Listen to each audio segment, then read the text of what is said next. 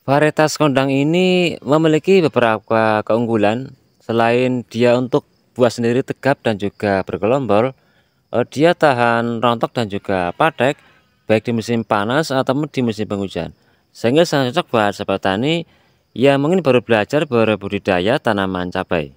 Dengan kondisi daun yang sehat dan juga pupus daun yang sehat, artinya tidak keriting, maka akan menghasilkan bakal bunga dan juga bakal buah sehingga tanaman tidak stagnasi ataupun stop pembuahan.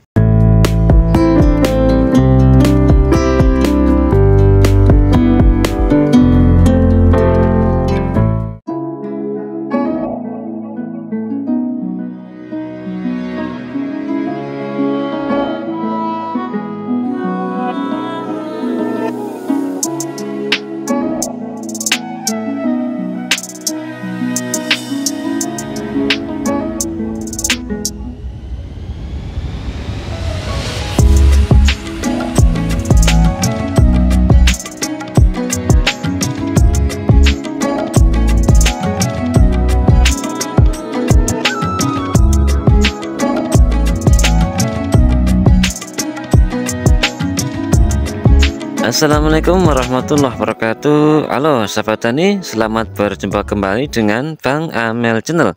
Dan hari ini kita masih berada di kebun mini cabai rawit.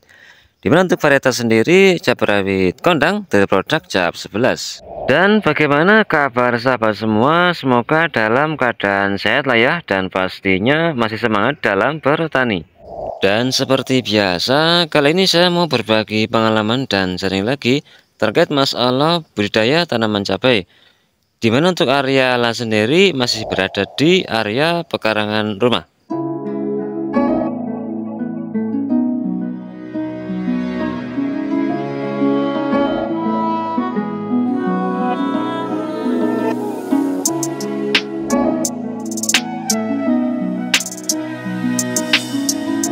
Untuk usia hari ini menginjak kurang lebih 85 hari setelah tanam dan untuk kondisi tanaman sendiri eh, telah memasuki masa generatif ataupun pembuahan.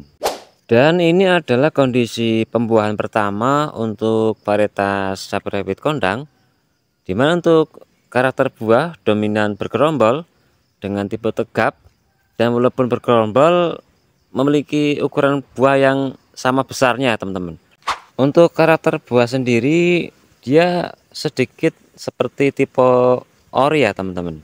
Dan ini e, sangatlah keras. Dan untuk kondisi buah pun sebagai sudah mulai memerah ataupun menjelang masak. Varietas kondang ini memiliki beberapa keunggulan. Selain dia untuk buah sendiri tegap dan juga bergelombol e, dia tahan rontok dan juga padek baik di musim panas ataupun di musim penghujan sehingga sangat cocok buat sahabat tani yang mungkin baru belajar berbudidaya tanaman cabai. Dan lima hari yang lalu kita baru saja uh, aplikasi pupuk yang ke 10 ya teman-teman. Yang kita aplikasikan dengan menggunakan pupuk NPK dari produk Nutricor yang kita mix dengan pupuk Ultradap kemudian kemarin kita juga menambahkan suplemen tanaman dari produk Kalinet yang kita mix dengan asam amino dari produk Micropro uh, untuk bertujuan supaya kondisi buah berikutnya tetap bermunculan tidak stagnasi ataupun stop pembuahan. Di usia 85 hari setelah tanam ini kegiatan hari ini yang kita lakukan adalah aplikasi obat ataupun pestisida ya teman-teman. Eh, dengan bertujuan uh, untuk pencegahan keriting daun kemudian pencegahan jamur patek dan juga pencegahan hama serangga seperti e, belalang dan juga ulat ya teman-teman. Dengan kondisi daun yang sehat dan juga pupus daun yang sehat artinya tidak keriting maka akan menghasilkan bakal bunga dan juga bakal buah e, sehingga tanaman tidak stagnasi ataupun stop pembuahan.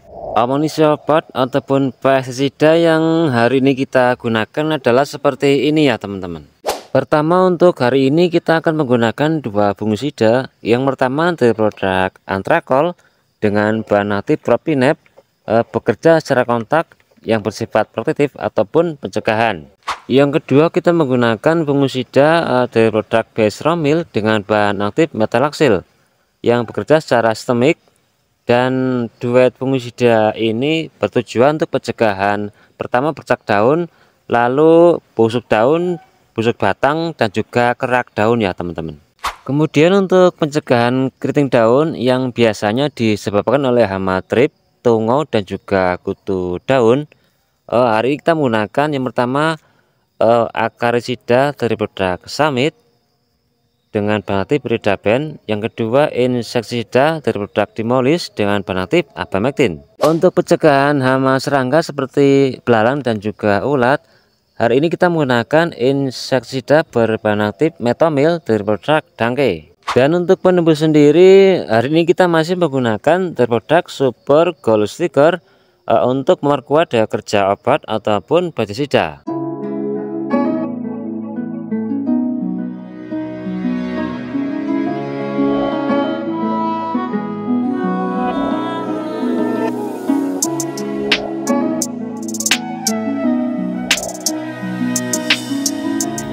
untuk penyemprotan kali ini kita akan melakukan di malam hari ya teman-teman dengan dosis obat ataupun pestisida.